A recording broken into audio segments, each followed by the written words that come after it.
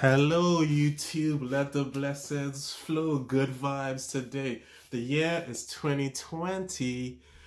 The day is 20. How about that? Let the blessings flow. Good vibes to everybody out there. I hope you are doing what you want to do, or if not, you are pursuing your goals. You're pursuing happiness. All right. So I'll have some some topics and today's topic is the dating market and i and this applies to other assets of your life okay? So if you can master the, the dating you can master job you can help um health and all that stuff i believe the dating market is a huge challenge all right but when you find that right person for you it makes a world of difference. All right so i broke it down like this. Who what when and why all right. So who? Who means I am the the product. I am the prize. So I have to do things to make myself the prize. I have to be true to who I am. All right.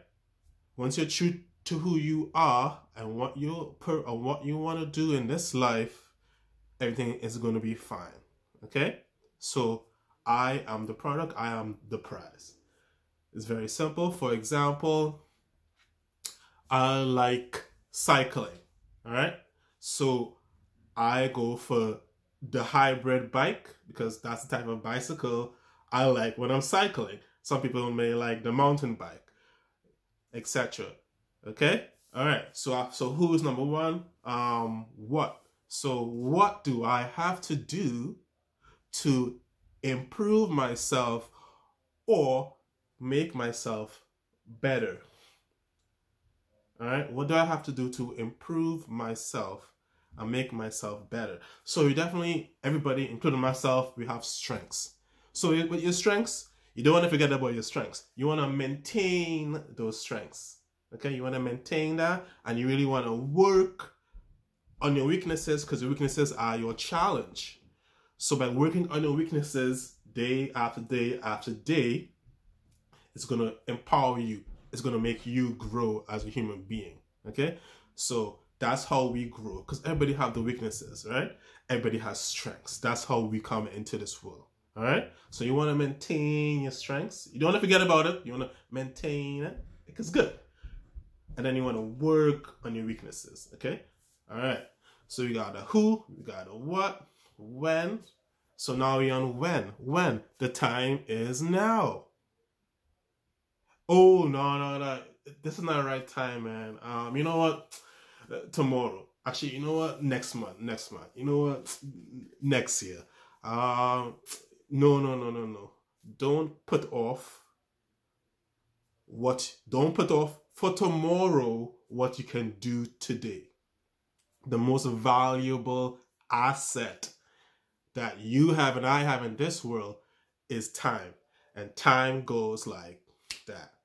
Okay? Everybody has to start somewhere. Don't be Mr. Fancy or all right? Or try to pretend like whatever. Start, get it started. Get started. Okay? Who, what, when, and why. All right? So the last one is why. Why am I doing this? I want to achieve a goal. Why? Whatever goal that may be. A career, a job, traveling, whatever it may be. You have to have that why. Like, why am I grinding? Why am I day to day doing this? Because I know my why. I believe my why is going to make me happy. For example, John wants to buy a house. Why he wants to buy a house? Because John believes buying a house is going to make him happy. So John wants to buy a house. So John has to go to the bank and say, hey, what steps do I need to take to get a house? The bank will say, hey, you gotta have good credit, you gotta have a job, you gotta have um, this and this and this, all right, etc., etc., etc. All right. So once you have that why, the why is very powerful. All right. The why is very powerful because when you are in that struggle, when you are on that lonely road, you be like, man, whew, why, why am I doing this? Because you know that's going to make you happy and make you grow because your why is powerful. Why? All right. So I'm down with that. The next thing is the five senses. So you got to work on the five senses in this life. All right? The first one is your vision. The second one is hearing. The third one is smelling. The next one is taste and touch. See, I'm trying to touch somebody out there. I'm trying to give you some real information from my heart. Okay? All right. So, vision. Vision. How are you going to present yourself to the world? For example, how are you going to dress? That represents you. What kind of body type are you going to have? What type of posture are you going to have? How are you going to rep- how are you going to present your how are you going to present your authentic self to the world? What people are going to see. Okay? Vision. Hearing. What are you listening to? Who are you listening to? How do you speak? How is your tonality? How is your the pitch of your voice? Do you sound confident? Do you sound depressed? I suggest everybody record yourself, make a video, hear, hear how you speak, ask your friends, ask your family, do I sound like this? Do I sound like that? That's something you can work on. That's something I work on. Okay, I stumble on my words sometimes, so I know I gotta slow down. I gotta project. I gotta use a very and I gotta use a very energetic tone.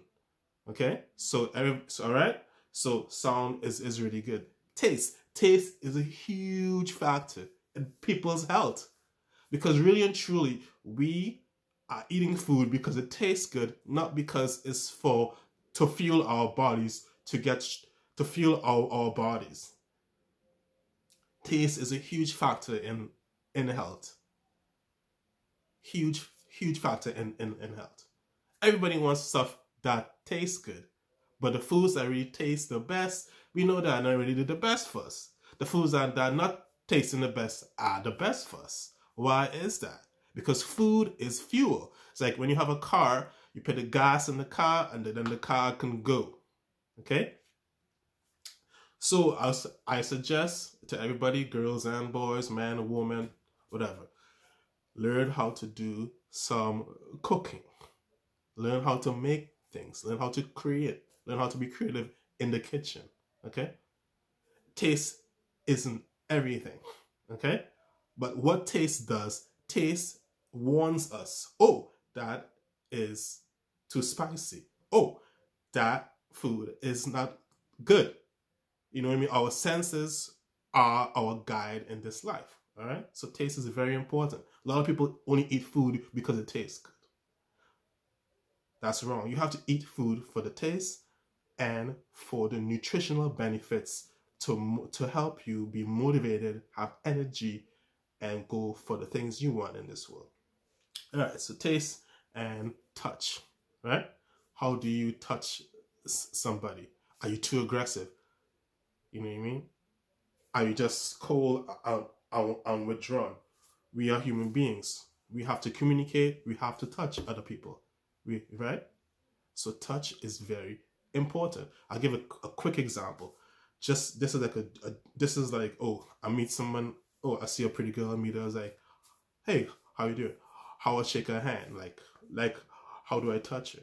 You know what I mean? Like, like, you know, right? You have to work on these things. For another example, like in the job, you're going for a job, all right? You're your employer, you have an interview, and now you're gonna have to shake his hand. If you shake his hand too aggressive, like ah, that signals, oh, I'm insecure. I gotta show you that I'm strong. If you like a flimsy handshake, that shows like, oh, I don't really give a shit. You gotta have that in between where it's just firm, just right. All right, so touch is very important in this world. All right, I want to go with hearing.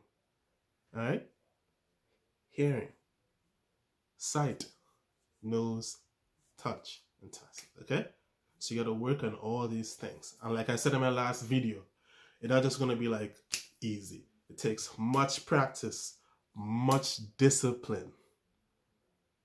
And you keep doing these steps over and over.